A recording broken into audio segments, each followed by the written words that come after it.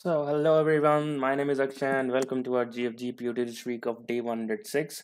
So, if you are new to this channel, please like, share, and subscribe so that we can learn, grow, and maintain our streak together. So, let's get started with the today's question. The question name is intersection point in Y-shaped linked list. Now, the question is very standard one. Like if you have ever uh, learned linked list while studying the data structure, then this question is a must question that is uh, there in each and every course or each and every sheet, if you say. So let's see what the question says. So it says that the given two singly list, linked list of size n and m, write a program to get the point where two linked lists intersect each other. So it is saying that there are two linked lists. One linked list is have the elements 3, 6, 9 and the common part of the second linked list and the second linked list is having the 10 as the n and the common part. As you can see here, the common part is 15 and 30 and the unique part of the first linked list is 3, 6, 9 and the unique part of the second one is the just one node that is 10. So I need to find a point where these two linked lists merge into one, right? So if you see that two two lists merging into one, it will look like a Y shape, right? If you look, it will look like a Y shape. And as you can see, the first node where it merges is 15. So that's why 15 is our answer, right? So okay, let us visualize this in the paint. So as i said when the two linked lists merge it looks like a y shape. How how how i was saying that that this is here. As you can see this one this is the point of merging and this one. So it is it is a y shaped uh, overall linked list right? So what we can do here is what we can do here is first step that uh, um, a very basic method a very naive method coming to my mind is what if we maintain a hash set right and we put the each and every element of the first link for the first link list in this hash set so it will be like 3 6 9 15 and 30 right? Hash set will include these elements and if and in the and then after this i will traverse in the second linked list and i will for each and every element i will check that if if this thing is present in my this hash set 1 right so for the second linked list, then the elements will be node. So I will check if 10 is present. So it will say no, it is not present. Then I will check 15 is present. So it is present. I will say this is my point of intersection of my linked list. But this approach will take O of n time, the traversal and O of n as the space complexity, right? And the constraint given is to us is our 10 power 5. And the maximum time complexity we can use is n root n for this constraint. And if you do not understand how, how, how am I saying this, this 10 per 8 logic then i have made this time complexity video on this. You must watch it. It must be flashing up here now. So we can use n root n and we can use the maximum as n root n. You can go like below as much as you can. So it will be n then log n and so on right?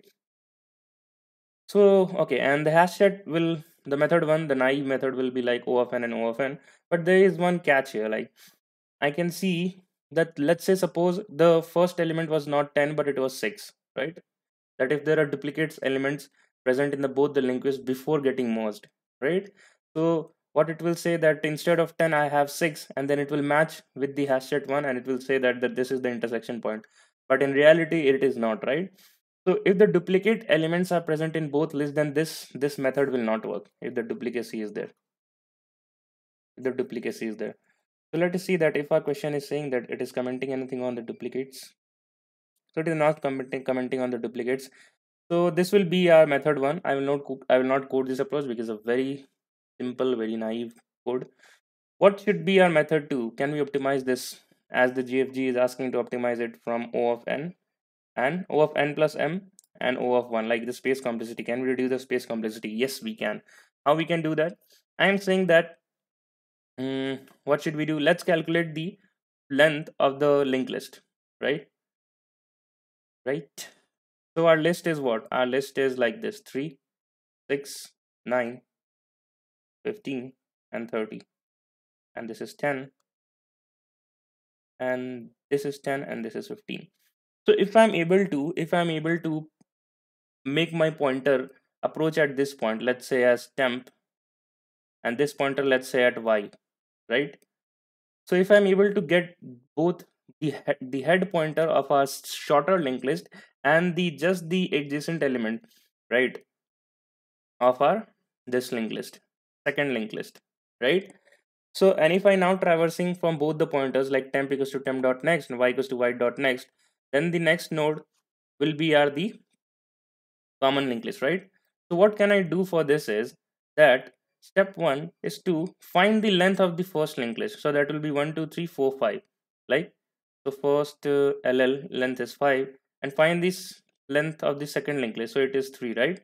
So what I have to do to in the larger linked list so that I can present at this pointer, right? Where the adjacent head is starting of the second linked list. So what can I do is I can just subtract these two numbers. It will be 5 minus 3 that is 2, right? So that means if I if I traverse two times, let's say this is a variable d which is actually pointing to n minus m. So if traversed d times d times in larger linked list then my temp will be coming here right? Right? And and since we know that which is the longer linked list then we will make uh, they will make a second pointer at the head of the smaller linked list right? So temp here and y is the pointer of smaller linked list and this is head pointer of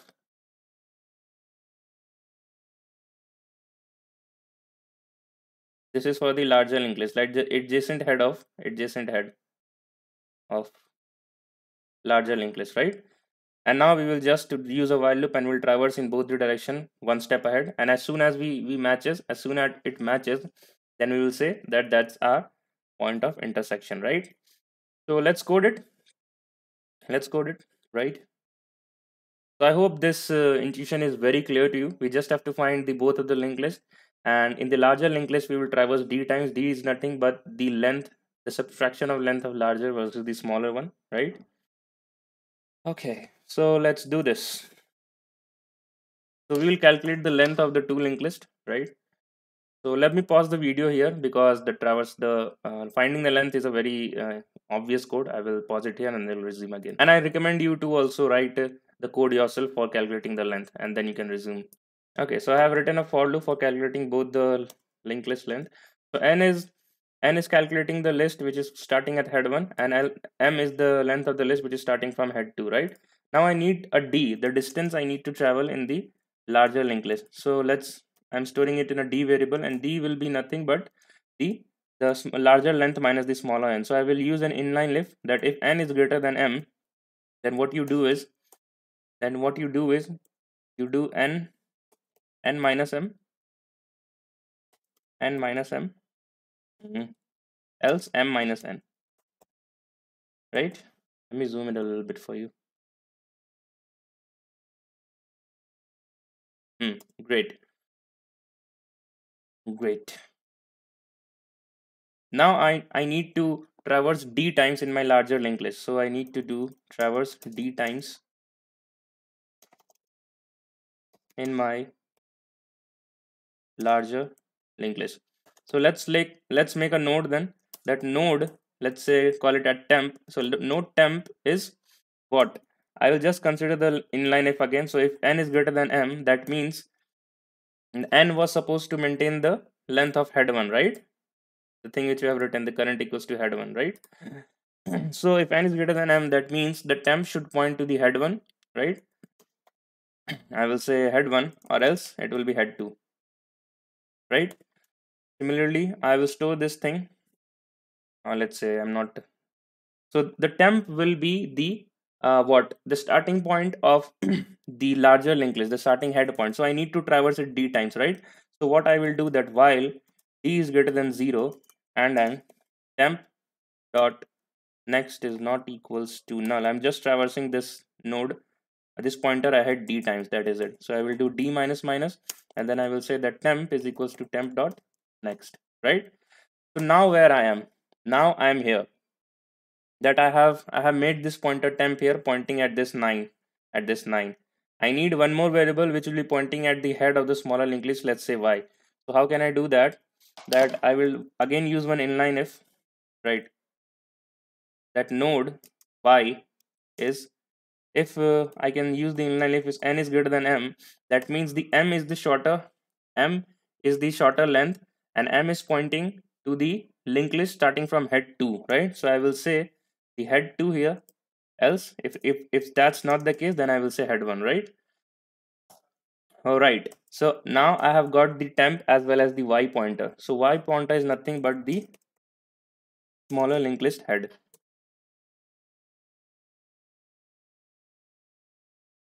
And temp is pointing to after after this line 51 temp is pointing to the adjacent or let's say same level node. Same level node right?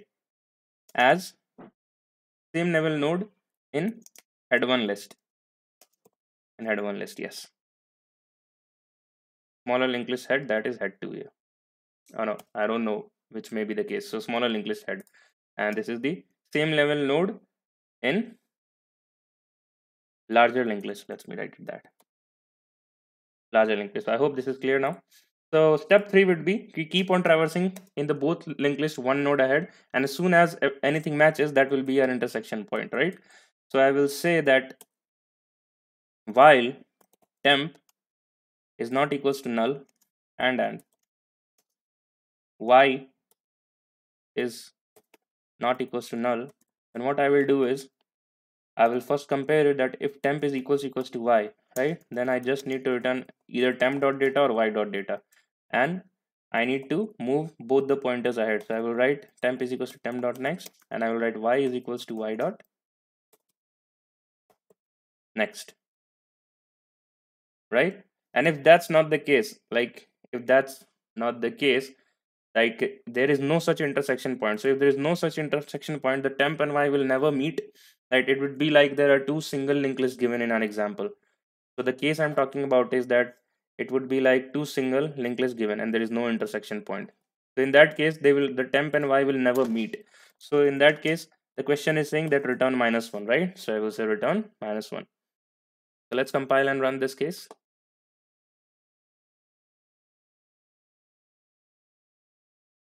okay so there's some compilation error. Let me solve that for you.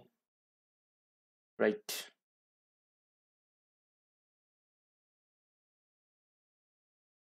Okay so there are more compilation error. Okay so the inline if i have not i have missed this question mark symbol that's why it is giving me syntax error. So great. The expected output and our output matches. So let's hit the submit button. The, the time complexity of this code is o of n so, and the constraint is 10 per 5, which will be less than 10 per 8. So it should get submitted if our logic is correct here. So as you can see, the, all the test cases passed. So that was it, right? And using this inline if, we were just able to store that which list is smaller and larger without even looking at it, right? Without even looking at it. That was a, a great trick, as you say, to proceed in this question. So that was it. Let's meet in the tomorrow's streak of day 107 few last thing that that's my DSA repository. You can start and fork to get help with the source code as well as my Instagram channel. And I can see that many of you guys are getting in touch and some of you are even uh, asking doubts in my Instagram post. So I highly, I really encourage that uh, you must ask the doubts. Either it is a very, a very small one, uh, like you can even ask me that how the variables declared, right? So don't do not hesitate to ask. That's because that's the way you will learn. So Kalyan, thank you for asking the doubt. So very good to have you guys here. And uh, okay so till then keep learning keep growing and we'll meet again tomorrow in day 108 so bye bye take care